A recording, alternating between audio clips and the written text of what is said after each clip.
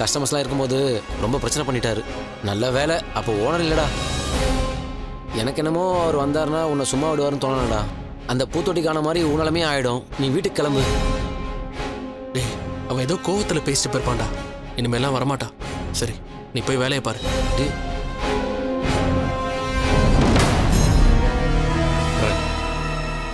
வண்டியில் டேய் எங்கடா போறோம்? உன் சம்சாரம் ஸ்டாண்டுக்கு வந்தப்ப அவங்கள வேற திட்டி அனுப்பிச்சிட்டேன். இப்போ யாரோ ஃபோன் பண்றாங்க வரேன்னு சொல்லிட்டு நீ பாட்டு கிளம்புற. யார் ஃபோன் பண்ணாங்க எங்க போறோம்?